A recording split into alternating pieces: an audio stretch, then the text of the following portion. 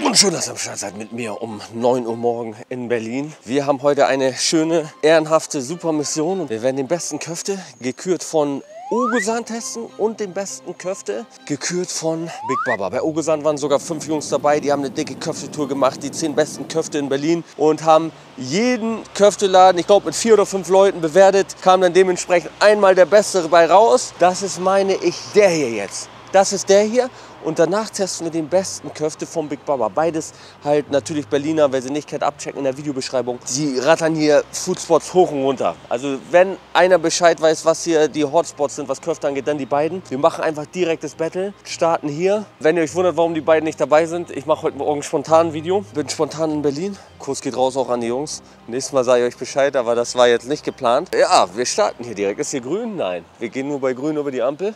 Ich hoffe, die haben jetzt überhaupt schon Köfte. Nicht, dass es so eine Holzkohle-Geschichte ist und dass die dann noch gar keinen Köfte haben um 9 Uhr morgens. Scheiße, ey. Ja, bei mir ist echt immer hart strukturiert so ein Tag, wenn ich woanders bin. Dann wird gefressen, gefressen, gefressen. Scheibenkleister. Ich muss noch mal zurück zum Auto. Ich habe was vergessen. Egal, ich frage erst mal, ob es schon Köfte gibt. Moin. Kann man bei euch schon Köfte bestellen heute Morgen? Ja?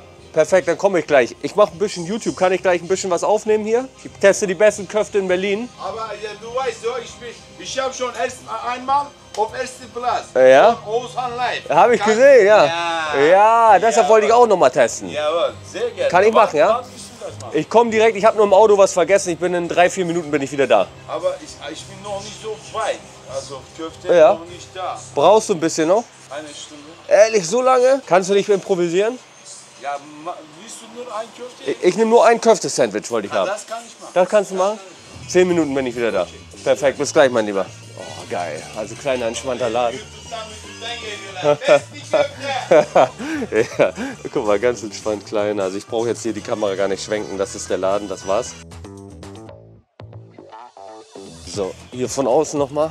Lieber Ogosan und an die Jungs, äh, danke für den Tipp. Denkt dran, Ogosan, Dönerladen, eigenen Dönerladen aufgemacht. Blende ich mal eben die Adresse ein. Unbedingt abchecken.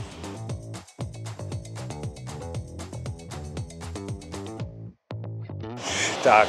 Jetzt holen wir aus dem Auto mein Ständerchen, klitzekleines Ständelchen. Und dann, äh, ja, kann es losgehen. Oh, um die Uhrzeit morgens. Ich habe gestern abends um 11 noch ein Chicken-Duell gemacht. Habe ich das noch gemacht, ja. Um 11 Uhr. Nee, war ich fertig um 10.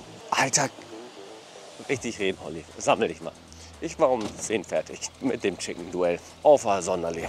Jetzt sind wir am Start, am Start. Ah, hast du vorbereitet hier? Stark. Hast du die. Oh, schöner Fettgehalt. Also das ist äh, sein Fett, nicht extra Fett. Aber Ist- schmeckt sehr gut. Ist kein extra Fett, ist wirklich vom Ding. Stark. Benutzt du Lamm? Ist das bei dem so? Auch Lamm? Ist das Lamm oder ist Das es. ist äh, aber Geheimnis. Ich sag Ja. dir nur ein bisschen. Bisschen Lamm, bisschen, äh, also 90% Kalbfleisch. Sag ruhig Aber Geheimnis. speziell. Aber was ist Mein Geheimnis? Fleisch, natürlich Geheimnis. Ja? Aber nimmst du Lammschwanz auch?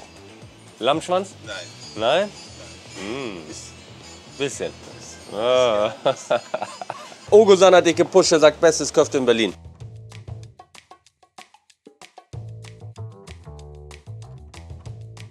Ich freue mich sehr. Ich glaube, er wird knallen. Ich hoffe, ja. aber ich habe Vertrauen. Ja, ich habe auch Vertrauen in dein Geheimrezept. Du wirst das sehen. Ja. Wir haben noch Suppen da. Auch besten Suppen Berlin. Ah, Ich habe Osan gesagt, Osan, Ja. auch äh, Suppen. Suppentest. Bester Suppe, Suppentest. beste Suppe Ich Berlin. habe Vertrauen. Machst du Hassel kaputt mit deinen Suppen? Ja, Ja? Sie, Sie können testen. Gehen Hassel, kommen zu mir. Ja? Probieren Suppen. Oh, ich Also weiß bei- vielleicht bei mache ich. Läuft eigentlich mehr Suppen. Ja? Oh, vielleicht ich machen noch. Teste Suppe. Ja, kannst du auch machen. Ja? Locken, Vielleicht hängen wir noch einen kleinen Test an, Leute. Gehst du auch andere Köfteladen? Ich gehe noch einen anderen, ja? Von Empfehlung von Big Baba. Sagst, kennst du Wer, den? wer? Big Baba heißt der in Berlin, auch YouTuber. Ja, wer ist Big Baba? Ja, ich bin Baba. Hast du gehört? Bilal, das Du- zur du Ansage. wirst das sehen. Noch nie gehört, Big Baba. Wer wer ist dieser Big Baba? Ja, wer ist der? Ich bin nicht Angeber, aber ich habe beste Köfte. Ja? Osan war 10 Köfteladen. Ja. 10. Du gehst ein, Big Baba, wer ist Big Baba? Bilal. Noch nie Also, gehört. also Test hier incoming, undercover Bilal. Du bist gehst du mit Papa, kommst du aber später zu mir. Big Dein Papa. Köfte ist langsam fertig. Big Papa. Ich mache diesen Job seit 20 Jahren. Ja? jetzt habe ich mehrere Ja, grau Haare, ja. ne? Also machst du es seit, seitdem, Seit 20 Jahren. seit du geboren bist, machst du das. ja. Also ich liebe meinen Job. Oh, jetzt Ich umgedreht mein- hier. Ich liebe meinen Job. Du liebst es, ne? Du hast Spaß dabei, man merkt es es. gibt so ein Sprichwort, egal was du machst, immer mit Liebe. Und dann klappt das, ja. Ja, natürlich. Leute, Und nur dann, Leute, nur dann. Oh, das ist meine Linse dreckig. ich habe beste, beste, beste Fleisch. Ich arbeite mit Buhara. Kennst du Buhara? Nee. Die machen immer mein Fleisch extra. Ich Echt? bezahle mehr Geld. Ah. Ich, mehr. Ich will natürlich auch Geld verdienen, aber... Hauptsache die Quali vom Produkt zählt erstmal. Genau, genau, genau.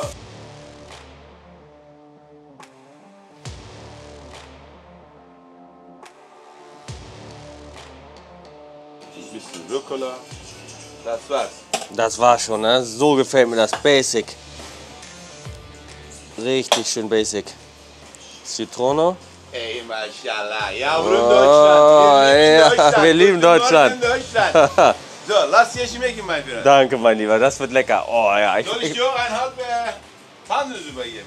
Ohne Brot. ja komm, gib mir Pansensuppe noch. Geht? Ja, wir machen vielleicht noch Turbotest nachher, so für 30 Sekunden am Schluss noch mal einmal Haji rein. Ja, da fahr ich vorbei sogar. Uh. So mag ich das, Leute. Das ist Basic, das ist Kunst. Ich schwöre euch, das ist Kunst.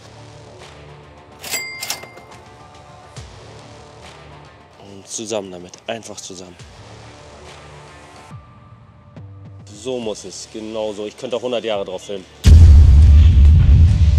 Okay, da gehen wir mal rein. Hier noch seine Pansensuppe.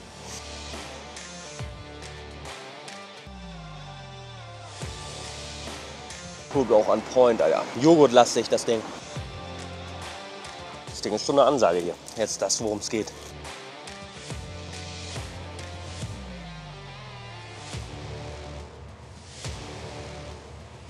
Schöne Röstung am Brot. Brot ist gefühlt, als würde es aus dem Ofen kommen. Es ist überall geröstet, es ist so fein krümelig. Als wäre es durchgehend noch mal im Ofen gegangen, hätte wirklich bis in die feinste Pore eine Röstung bekommen.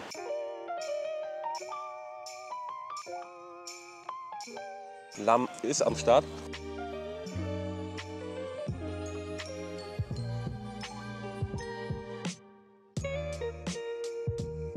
Zitrone kickt rein, ganz deutlich. Verhältnis ist halt ein bisschen schwierig. Da hätte bei dem Köfte-Sandwich in dem Fall, weil da nicht so viel Salat drauf ist, ein, zwei Köfte mehr drauf gemusst. Verhältnis hinkt ein bisschen.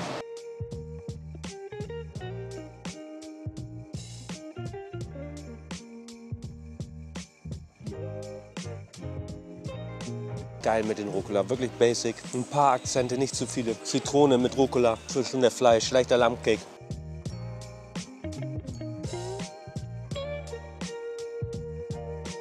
Es ist schön den Fleischkick. Hier mit der Zeit durchs Fett auch. Das Brot wird schön dünn.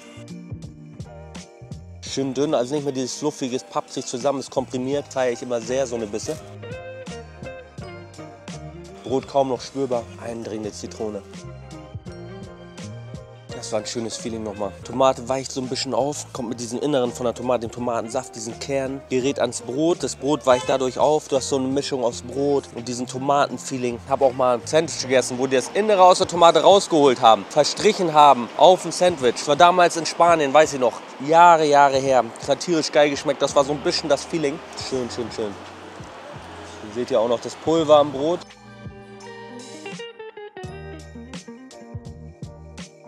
Bei jedem Biss immer noch knusprig von außen. Starkes Ding, muss mal kurz in mich gehen. Sehr, sehr lecker, hast du gut gemacht. Ich liebe dieses Basic. Einfach nur ein paar Zutaten. Hast du top gemacht. Ich rede viel, aber nicht umsonst. ja, das ist ein gutes Motto. Danke, mein Lieber. Schönen Tag, tschüss. So, netter Mann, netter Mann. Gesamtbewertung kommt am Schluss. Also erstmal positiv. Produkt funktioniert basic. Produkt funktioniert ohne Soßen. Das spricht schon mal für das Produkt. Sehr lecker. Braucht keinen Zusatz. Die Qualität muss nicht verschleiert werden durch irgendwelche Soßen. Und nicht wieder an alle Soßenfreaks nicht falsch verstehen. Soße kann immer ein Upgrade sein und ist immer willkommen. Darf aber kein Muss sein beim Fleisch. Ist einfach so. Und schon mal vorab zum Köfte.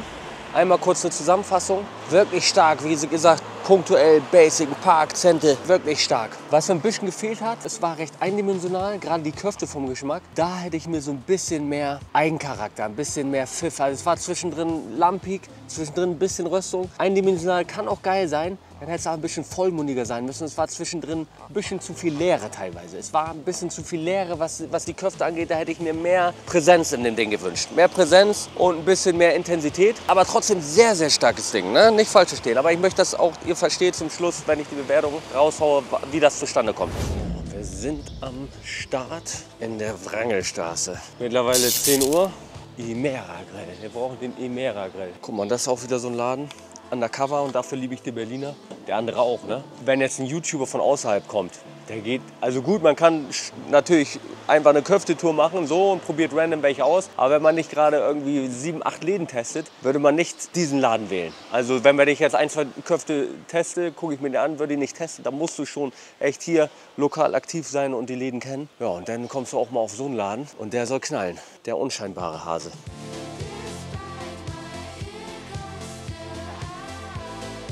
Manchmal rede ich, denke danach drüber nach, was ich gerade gesagt habe und frage mich, ob ich wieder maximal Scheiße geredet habe. Aber ich glaube, das, ich glaube, man hat schon verstanden, was ich meine.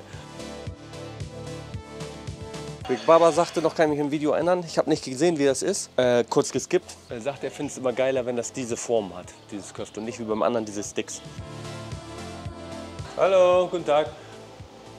So, auch kleiner entspannter Laden. Ich liebe so eine Läden, Mann. Die knallen öfters mal. Bam, bam, bam, bam, bam, bam, bam. Das war schon. Ein, zwei Bilder, wahrscheinlich irgendwelche persönlichen Hintergründe. Man hängt ja nicht irgendwie random irgendwas auf. Oder doch, könnte sein, ja? Ja, ich stelle mir schon vor, hier, das ist der Opa. Ja, kannst du noch mal ein bisschen Gitarre spielen? Ding, ding. Da gucken wir mal, hier sind die schönen Kräfte.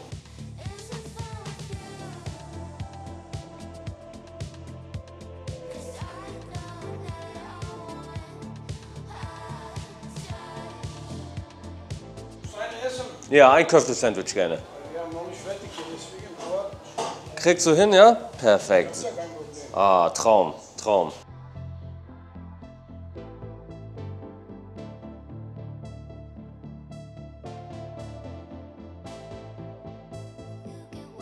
Ah, ich bin gespannt äh, auf den Köfte. Ich hab, äh, er hat sehr hoch angepriesen, sagt wirklich Nummer eins. Ja, wir geben Mühe. Ist alles selbst gemacht immer. Ja.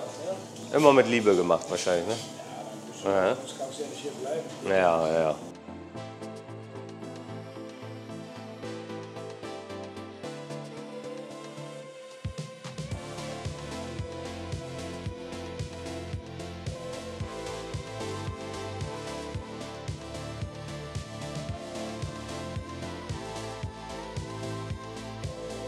Perfekt, super, ne? Sieht gut aus.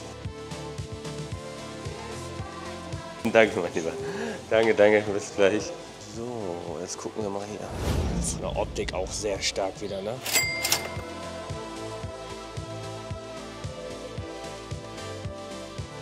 Schöne Röstung außen, innen. So, dann gehen wir mal rein hier. Nee, der Chef wollte gerade sich neben mich stellen, während ich filme. Da sage ich immer inzwischen. Früher habe ich mal ein, zwei Mal noch nichts gesagt, weil ich dann mich nicht getraut habe, so sage ich mal. Aber wenn Chef neben dir steht, wie sollst du das Essen bewerten? Das geht einfach nicht.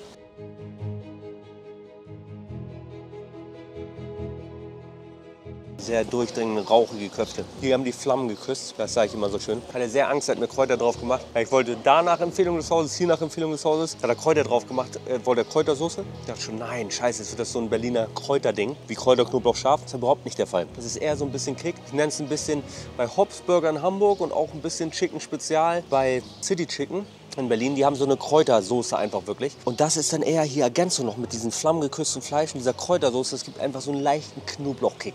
So unterlegt. Aber durch diese, diese, diese Vermischung mit dem Rauch und dem Knoblauch entsteht ein geiler Geschmack.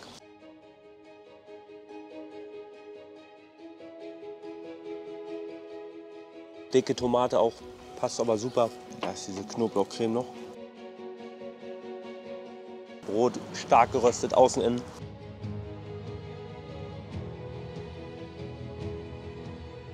scharfe Soße, Tomatenketchup lastig. Zwischendrin kommen hier noch mal Kräuter reingeschossen.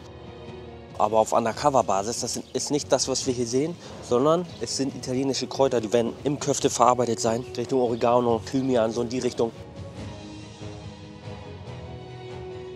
Du merkst auf den Tomaten dieses leichte Salzprickeln. Sehr entscheidender Move auf der Tomate. Und da noch so ein bisschen mit Salz, Pfeffer, Gewürzen arbeitest, Tomate wird gleich zum ganz anderen Produkt. Nicht besser, aber anders. Und passt hier sehr gut. Das muss wirklich direkt auf die Tomaten drauf sein. Da ein bisschen Gewürz drauf, Tomate wird zu wirklich komplett Verwandlung, Transformation, Transformation. Genug gesehen. Zur Bewertung. Heute wollte ich nur Pansensuppe, aber ich sehe gerade den Riesenspieß hier. Beide. Echo, Echo, Echo Fresh? Echo Fresh. Bruder von Echo Fresh. Bist du Bruder von Echo Fresh? Ja, er. Er ist Bruder von Echo Fresh? Ja. Ihr lügt mich an. Habt ihr einen Riesenspieß hier? Oh, heftig. 34 Jahre. 34 Jahre, ne? Stark, ja, ja, ich sehe schon. Das ist ein Klopper hier. Das ist ein Riesenklopper. 300 Kilo ist das, ne? Stark. Ja, ich habe schon gegessen hier. Sehr guter Döner. Kann ich euch nur empfehlen, Leute. Der ist wirklich klasse. Wann haben Sie gegessen? Oh, vor einem Jahr? Oh, ja, aber jetzt da. Nee, ich, ich schmeckt noch besser, ja? Ich komme noch mal anderen Tag, aber ich wollte Pansensuppe einmal essen bei euch. Soll auch sehr gut sein, ne? Knoblauch oder ohne? Mit Knoblauch, muss. Hast du kein Küssen heute? Oh, äh, selten. Wochenende. Heu- Heute ist Frau woanders. Heute Wochenende. ja, heute ist Wochenende. Ja. Wo habt ihr Pansensuppe? Kriege ich da vorne? Ja, perfekt, Dankeschön.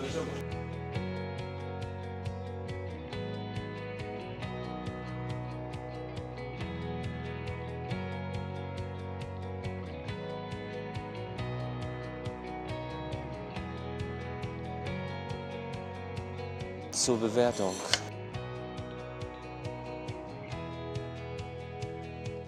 Bissig, Leute, bissig.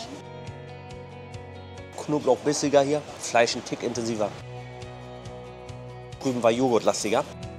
Zitrone kickt ja auch noch mal rein, habe ich aber selber reingemacht. Bewertung für die Köfte ganz schwer, Leute. Da wären wir gefühlt bei beiden Hinsichten fast ein unentschieden Tag heute. Das ist zum Schluss nur noch eine Bauchgefühlsache. Aber wirklich besser ist da keiner von den beiden Köfte. Was mir im Nachhinein nachklingt, ist, beide hätten beim Fleisch hier ein bisschen mehr Power, ein bisschen mehr Fleischfokus vertragen. Und zum Schluss klingt mir so ein bisschen die Leere zwischendrin nach. Wenn ich jetzt mit ein bisschen Abstand, ein, zwei Stunden später drüber nachdenke, ein bisschen die Leere beim ersten Köfte klingt mir so ein bisschen nach. Habe ich aber trotzdem dieses basic, geile, punktuelle, paar Zutaten verliebt. So beim zweiten habe ich mich in dieses Pushen von diesem Knoblauch mit diesem Fleisch geküsst vom Feuer. Das pusht sich, steigert sich so ein bisschen hoch, intensiviert sich, kombiniert sich. Da habe ich mich da verliebt. Ganz knapp oben auf. Oh, oh scheiße, ey. Wegen dieser Leere, die ich noch im Kopf habe beim ersten Ding. Zwischendrin. Erster Spot 8 Punkte, zweiter 8-1. Aber das einfach. Und beim ersten, wenn du ihn so basic servierst, da muss ein bisschen mehr Fülle rein oder das Sandwich ein bisschen kürzer. Aber an vielen Stellen war da auch einfach nur Brot so. Hat irgendwie auch gebockt, aber ich denke, da wäre noch Optimierungspotenzial. Suppe gibt es für mich nur unentschieden, Leute. Hier ein bisschen bissiger. Gut, ich habe die Zitrone reingehauen, aber beim drüben Joghurt lastiger. Hier Fleisch ein bisschen intensiver. Ich küsse eure Herzen. Danke fürs Zuschauen heute. Ich hoffe, euch hat das Video gefallen. Wie ihr merkt in meinem Content die letzten Wochen, ich versuche ein bisschen mehr Abwechslung jetzt mal reinzubringen. Hoffe, euch gefällt das. Lasst den Daumen oben scheppern, wenn ihr das gut findet. Ich denke, es muss noch ein bisschen Abwechslung sein. Lasst mir einen Kommentar da, was ihr generell vom Video haltet. Dann sage ich bis zum nächsten Mal, ja.